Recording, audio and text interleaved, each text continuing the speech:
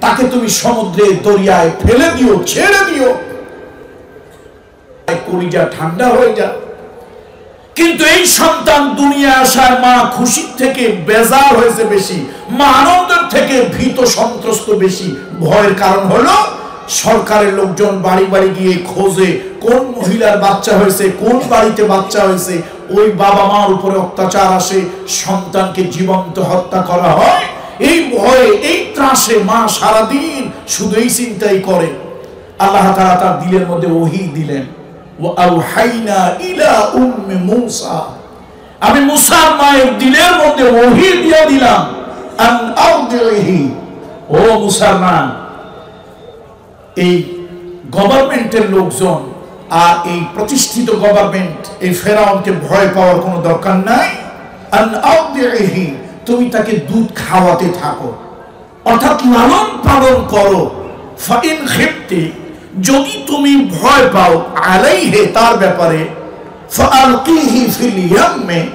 তাকে তুমি সমুদ্রে দরিয়ায় ফেলে দিও, ছেড়ে দিও। এখন বলেন, আমরা নগদে বিশ্বাসী। কি পরে হবে এটা তো পরের কথা। একটা মা তার সন্তানকে জেনে শুনে পানিতে ফেলে দেবে, দরিয়ায় ছেড়ে দেবে। এটাও কি সম্ভব? অথচ আল্লাহ তাআলা বলতেছেন, যদি তোমার ভয় হয় বাচ্চাটা পালতে পারছ না, তুমি কোথায় তাকে ফেলে দিও? আপনারা আমার কথা বোঝেন না? দরিয়ায়, সমুদ্রে, নদীতে ফেলে দিও। তুমি ফেলে দিও, তোমার সন্তান ডুবে যাক, মরে যাক, যা ইচ্ছা তাই হোক। আমি আল্লাহ তাআলা বলছি ইলাইকে। আমি আল্লাহ তাআলা এই সন্তানটা আবার তোমার কাছে ফিরিয়ে দেব। মুসা মা, আল্লাহ তালার প্রতি কতটা ইয়াকিন তার। পর্দালের মা এবং বোনদেরকে বলি, মা, ও বোন, মুসা আলী ইসলামের মা আল্লাহর উপরে কতটা ইয়াকিন, আল্লাহর উপরে কতটা বিশ্বাস, এই দুনিয়ার কোন মা যা করবে না। মুসা মা তাই করলেন, তাই করবেন। আল্লাহ তারা বলেছেন, সন্তানকে দরিয়ায় ফেলে দিও, মরুক, বাসুক, ভাসুক, ডুবে যাক। আমি আল্লাহ তাআলা, আমি আল্লাহ তাআলা, ইন্না রাদ্দুহু ইলাইকে। আমি আল্লাহ, এই সন্তান আমার তোমার কাছে, তোমার করে আমি আল্লাহ তাআলা ফিরাই দেব। ভাইরা আমার, বন্ধুরা আমার, মুসা আলাইহিস সালামের মা মুসা ইসলামের জন্মের পরে তাকে দুধ পান করান সতর্কতার সাথে। মুসা ইসলামের ভাইকে, বোনকে লাগায় দিলেন, যাও, খেয়াল করো, বাড়ি বাড়ি খেয়াল করো, কখন সরকারের লোকজন এসে যায়, গোপনে গোয়েন্দা লোকজন এসে যায়। একদিন মুসা ইসলামের ছোট বোনটা, অর্থাৎ মুসা ইসলামের যিনি বড়, ওই বোনটা এসে বলল, মা, সর্বনাশ হয়ে গেছে। আশেপাশের বাড়িগুলোতে সরকারি লোকজন তল্লাশি শুরু করে দিয়েছে। ওই বাড়িতে গুলো যে, ওই বাড়িগুলোতে যদি কোনো পুত্র সন্তান পায়, মেরে ফেলবে, আগুন জ্বালিয়ে দেবে।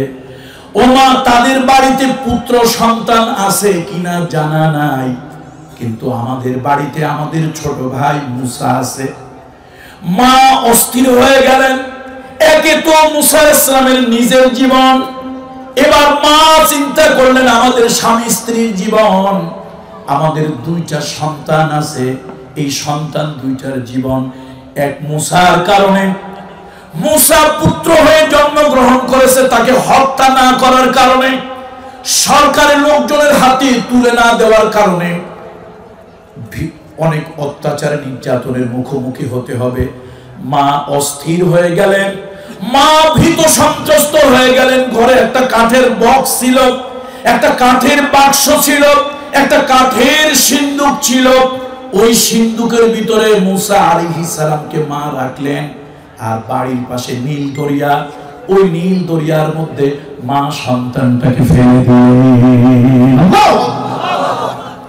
বন্ধুরা কি কঠিন, গর্ভধারিণী মা, স্তন্যদায়িনী মা। যে মা পেটে ধরেছে, যে মা দুধ খাওয়ায়, আল্লাহর হুকুমে সেই মা তার নিজের সন্তান দরিয়ার মধ্যে ফেলে দিচ্ছে। আর আল্লাহ তারা ওয়াদা করতেছেন, ও মুসলমান রদ্দুহু ইলাইকি, আমি আল্লাহ এই সন্তানকে তোমার কাছে ফিরায় দেব। আল্লাহর ওয়াদা সত্য না মিথ্যা? ওয়াদাল্লাহি হক। বলুন, ওয়াদাল্লাহি হক। আল্লাহর ওয়াদা সত্য আমরা তো অনেক ওয়াদা করি। এক লোক নির্বাচনে দাঁড়িয়েছেন। বললেন, ভাইরা, আমাকে যদি আপনারা ভোট দেন, গরুর গাড়ির চাকার মতো বড় বড় জিলেবি বানায় খাওয়াবো। আমাকে যদি ভোট দেন, রসগোল্লার মতো বিশাল বড় মটকির মতো বিশাল বড় ডেগের মতো এক একটা রসগোল্লা বানাই খাওয়াবো। লোকজন চিন্তা করল, খাওয়া তো দূরের কথা, গরুর গাড়ির চাকার মতো বড় জিলাপি জীবনে কোনোদিন দেখি নাই। আচ্ছা ভোট ওনাকে দেই। ভোট দেওয়া হলো, পাঁচ বছরের ভিতরে জনগণ আর তারা দেখল না। আবার যখন বসন্ত এলো, বসন্তের কোকিল তখন হাজির। বুঝছেন তো না, বুঝেন নাই? এই সিজনাল বাঘগুলি সিজনে পাওয়া যায়। আবার যখন নির্বাচনের বসন্ত এলো, সিজনাল বারেরা ওই নির্বাচনে বসন্তে হাজির। জনগণ জিজ্ঞেস করল, জাহাপানা, আপনি যে বলছিলেন, আপনারে ভোট দিয়ে নির্বাচিত করলে বিরাট বড় গরুর গাড়ি চাকার মতো জিলাপি বানায় দেবেন। পাঁচ বছরে তো দেখলাম না, জিলাপিও খাইলাম না। তিনি আবার সুর পাল্টাইলেন, শোনো, আমি তো তোমাদের দরদি আমি তো তোমাদের আপনজন, তোমাদেরকে নিয়ে খুব চিন্তা করি। আমি তোমাদের কলজার ঘিরু অনেক চিন্তা করে দেখলাম এই বিশাল বড় একটা গরুর গাড়ির মতো জিলাপি ছোট্ট একটা মুখ দিয়া, দুই ইঞ্চি, আড়াই ইঞ্চি একটা মুখ দিয়ে খাইবা কেমনে? তোমাদের অনেক কষ্ট হবে। আমি তো জনগণের বন্ধু, দরদি, চিন্তা করলাম, এত কষ্ট তোমাদের দেওয়া যায় না। আমি ওয়াদা যা করছিলাম তার থেকে সরে এলাম। পাবলিকের ওয়াদার মতো কি আল্লাহর ওয়াদা? বলুন, পাবলিকের ওয়াদার মতো কি আল্লাহর ওয়াদা? ওয়াদাল্লাহি, বলুন, ওয়াদাল্লাহি হক। ওমান আস, আল্লাহ তাআলা, ইন্নাল্লাহ লা ইউখলিফুল মিআদ। আল্লাহ তাআলা কখনো তার ওয়াদা খেলাপ করেন না। আল্লাহ তাআলা মুসা আলাইহিস মায়ের সাথে ওয়াদা করেছেন মুসার মা আমার উপরে ভরসা রাখো আমার উপরে আস্থা রাখো আমার উপরে বিশ্বাস রাখো। যদি সরকারি লোকজন তোমার বাড়িতে ঢুকে যায় তোমার মুসার উপরে যদি জীবনের কোনো হুমকি আসে ভয় পেও না দরিয়ার ভিতরে তাকে ছেড়ে দাও। আমি আল্লাহ ওয়াদা করছি ইলাইকি আমি আল্লাহ তার আবার তোমার কোলে এই সন্তানকে ফিরিয়ে দেব মুসা আলাইহিস মা সন্তান এসে যখন মেয়েটা বলল, কোন কোন তফসিলে এসেছে তার নাম মারিয়াম। মারিয়াম এসে বলল, মা, সর্বনাশ হয়ে গেছে। আশেপাশের বাড়িতে গভর্নমেন্টের লোকজন ঢুকে গেছে। তারা বাড়ি বাড়ি খুঁজতেছে। আমাদের বাড়িতে এসে যদি আমার ভাই মুসাকে পায়, মা মাগো মুসার জামও যাবে। ও মা, আমরাও তো কেউ বাঁচবো না। মুসা আসসালামের মা সিন্ধুকের ভিতরে তাকে ভরে, দরিয়ার ভিতরে তাকে ফেলে দিলেন। যদিও ইবনে কাসিরের একটি বর্ণনা, ইবনে কাসিরের একটি বর্ণনা, মা যখন বুঝতে পারলেন লোকজন খুব কাছে চলে আসছে, বিপদের সময় মানুষের সিদ্ধান্ত জ্ঞান থাকে না, সিদ্ধান্ত জ্ঞান লোক পেয়ে যায়। মা একটা ঝাঁকার মধ্যে একটা টুকরির মধ্যে, একটা পাত্রের মধ্যে কিছু খড়কুটো ছিল। মা তাড়াতাড়ি অস্থির হইয়া ওই ওই টুকরির ভিতরে, ঝাঁকার ভিতরে, ওই পাত্রটার ভিতরে মুসা ইসলামকে রাখলেন আর দরিয়ার মধ্যে নিয়ে তিনি ছেড়ে দিলেন। এটা হলো ইবনে কাসিরের এক বর্ণনা। তবে জমহুরের বর্ণনা হলো, অধিকাংশ তফসিরের বর্ণনা হলো, কাঠের বক্সের ভিতরেই ফেলে দেওয়া হলো। আমরা নবম, দশম শ্রেণীতে যখন পড়াশোনা করেছি, বিজ্ঞানের ছাত্র যারা আছেন, অথবা স্কুলে বিজ্ঞান পড়ান, পাঠদান করেন, এরকম শিক্ষক মহোদয়রা যারা আছেন, নিশ্চয় জানেন, আর্কেমিডিসের সূত্র বলে একটা জিনিস আছে, নবম, দশম শ্রেণীতে পড়ানো হয়। আর্কেমিডিস প্রথম পৃথিবীতে আবিষ্কার করলেন, বাদশাহ স্বর্ণের মুকুটের ভিতরে এক লোক সালাকি করে স্বর্ণের পরিবর্তে তার মধ্যে ভেজাল ঢুকায় দিল। বাদশার সন্দেহ হলো, আমার মাথায় স্বর্ণ মুকুট। এই স্বর্ণ মুকুটের ভিতরে স্বর্ণের পরিবর্তে এর মধ্যে খাদ দেওয়া হয়েছে বেশি, ভেজাল দেওয়া হয়েছে। কি করা যায়? আর আর্কেমেডিসকে বলল, তুমি যদি এটা পুঙ্খানুপুঙ্খ আমাকে হিসাব দিতে না পারো, তাহলে তোমার গরদান যাবে। সে গবেষণা শুরু করল। এই চিন্তায় চিন্তায় তার শরীর হালকা হয়ে গেল। একদিন চৌবাচ্চায় গোসল করতে গেলে শরীর হালকা হয়ে গেল। যেই না পানির মধ্যে নামলেন মনে হলো শরীরটা একটু ভেসে থাকছে। তার ধারণা হলো, এই তরল পদার্থ তাকে ঊর্ধ্বমুখী চাপ প্রয়োগ করছে। এই প্রথম পৃথিবীতে তিনি আবিষ্কার করলেন তরল পদার্থের ঊর্ধ্ব চাপ কি আবিষ্কার করলেন বলেন তো? তরল।